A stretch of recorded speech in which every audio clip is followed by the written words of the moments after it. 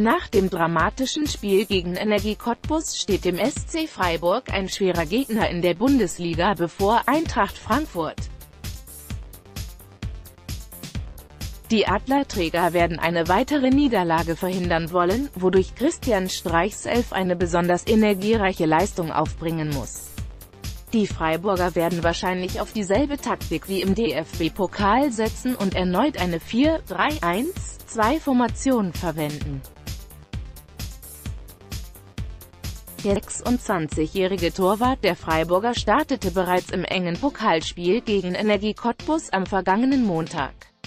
Schwolo spielte zwar eine durchwachsene Partie, jedoch hatte der 1,89 Meter große Deutsche in der vergangenen Bundesliga-Saison 33 Spiele bestritten.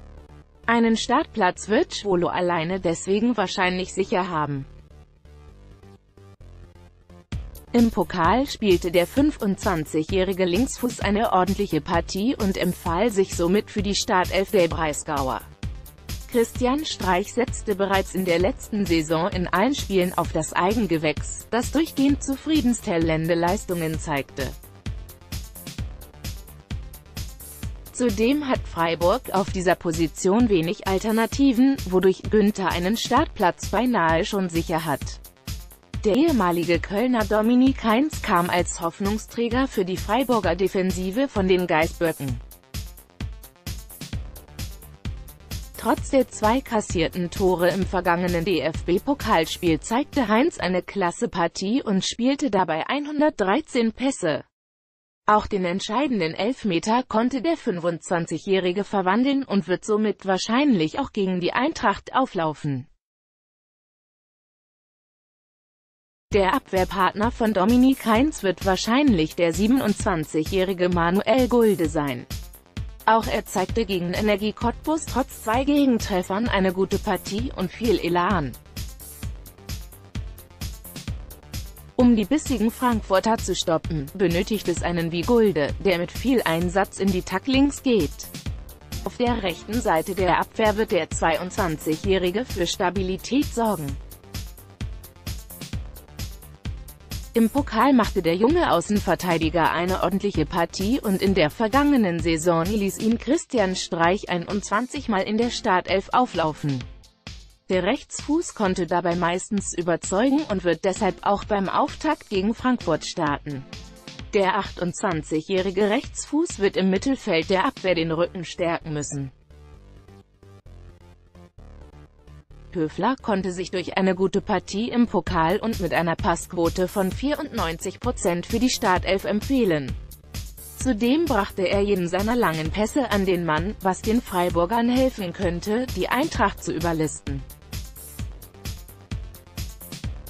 Der Kapitän der Freiburger schoss im verrückten Pokalspiel bereits ein Tor und konnte auch sonst eine vielversprechende Leistung zeigen. Es wäre also nicht verwunderlich, wenn der R31-Jährige erneut für die Breisgauer starten wird. Auch seinen Elfmeter verwandelte der Mittelfeldspieler souverän. Neuzugang Luca Waldschmidt aus Hamburg machte im Pokal auf einer ungewohnten Position ein ordentliches Spiel. Der Lockenkopf soll allerdings aus dem zentralen Mittelfeld mehr auf die Außenbahn ausweichen, um seinen Ex-Arbeitgeber mit seiner Geschwindigkeit zu ärgern. Zudem ist der 22-jährige Linksfuß immer für ein überraschendes Tor gut. Ex-Bremer Jerome Gondorf sorgte gegen Energie Cottbus immer wieder für gefährliche Aktionen. Insgesamt konnte der 30-Jährige im DFB-Pokal alleine zwei Großchancen herausspielen und die beiden Stürmer gut in Szene setzen. Gegen die Hessen werden die Breisgauer einen kreativen Zehner wie Gondorf brauchen, um die harte Abwehr der Frankfurter zu knacken. Der letztjährige Top-Torjäger und Nationalspieler der Freiburger wird auch versuchen, gegen die Eintracht auf Torjagd zu gehen. Gegen Cottbus knipste Petersen und war im Strafraum generell gefährlich. Es besteht kein Zweifel, dass der 29-jährige Stürmer auch gegen die Adlerträger startet. Nach seiner Einwechslung im DFB-Pokal belebte der 24-Jährige die Offensive und konnte einen Elfmeter rausholen. Diesen verwandelte Petersen nach Abpraller per Flugkopfball. Zwar zeigte Höhler keine große Auffälligkeit in der Partie, jedoch spielte er besser als Teamkollege Florian Niederlechner. Punkt. Dadurch könnte Streich ihn für die Startelf nominieren.